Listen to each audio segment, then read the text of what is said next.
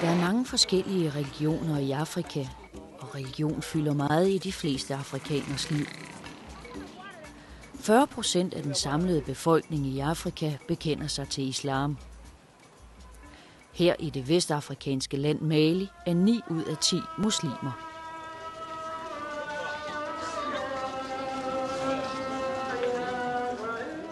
Hver en landsby med respekt for sig selv har en lærklinet moské.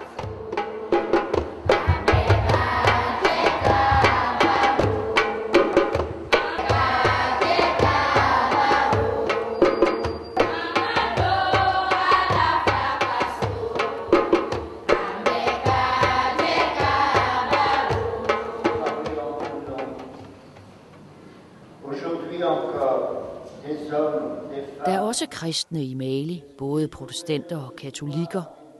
Religionen er ikke en afgørende skillelinje mellem befolkningsgrupperne. Kristne og muslimer lever med hinanden på kryds og tværs i et socialt og etnisk kludetæppe.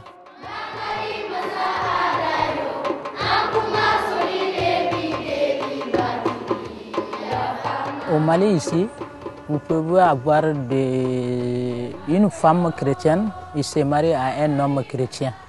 Bon, en même temps, vous pouvez avoir un, un homme musulman, il se marie à une femme chrétienne. Moi, personnellement, je suis musulmane, mon mari est chrétien, mais ça ne pose aucun problème. Bon, je pense que la religion, c'est une question, il faut bien comprendre.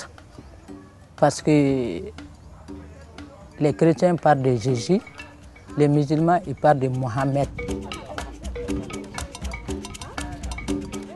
Ma première femme, quand je l'ai mariée, elle était musulmane. Mais au fil du temps, elle, elle a choisi la religion chrétienne. Sinon, elle s'appelle Catherine. Elle a même suivi le baptême. Après, elle est repartie chez les musulmans. Mais pour moi, ça ne me dit rien. Parce que chacun est libre de choisir la religion qu'il veut.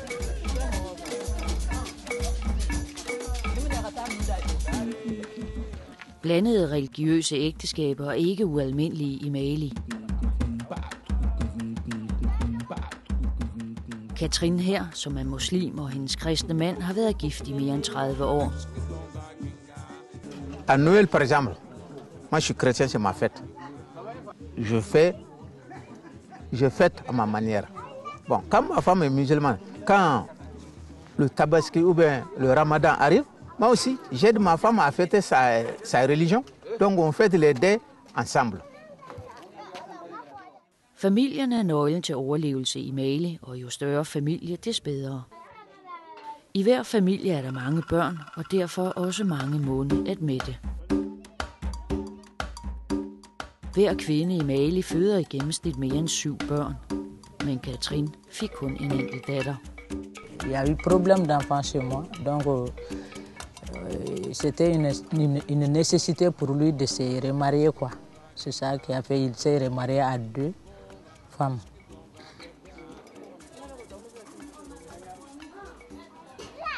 Den nye 26-årige muslimske hustru og altså kone nummer to er kvinden her ved siden af Katrin, kone nummer et. Voilà, moi je suis chrétien, j'ai deux femmes. J'ai deux femmes, il y a une cause. La cause est que ma première femme m'a donné un enfant, une fille. Maintenant, chez nous en Afrique, bon, quand il y a une fille, donc oh, ce n'est pas un héritier ou bien une héritière directe. Donc il faut avoir un garçon. Donc mes parents, ont tout fait pour chercher une autre femme. Parce que ma femme, elle a subi une opération. Ma femme a subi une opération. Après l'opération, elle n'a pas eu d'enfant. Donc on est resté comme ça. Donc jusqu'à ce que mes parents ont cherché une jeune fille.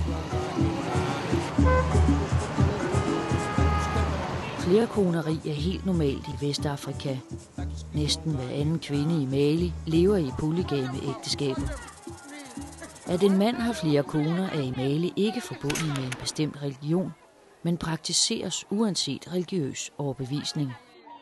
Flerkoneri eller polygami, som det også hedder, er kulturelt betinget og eksisterede længe før islam og kristendommen kom til landet.